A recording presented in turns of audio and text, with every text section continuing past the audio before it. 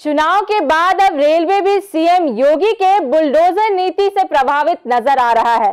दरअसल शहर के प्रोच मार्ग में एग्रीमेंट ना होने पर रेलवे की टीम ने बुलडोजर से बड़ा गड्ढा बनाकर आईपीएल शुगर मिल गेट का मुख्य रास्ता ही बंद कर दिया है।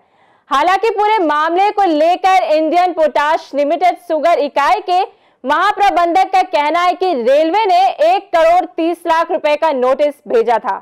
नोटिस के जवाब में हमने पत्र लिखकर संयुक्त टीम से शुल्क निर्धारण करने की बात कही थी। बावजूद इसके कार्रवाई की है जो सही नहीं है।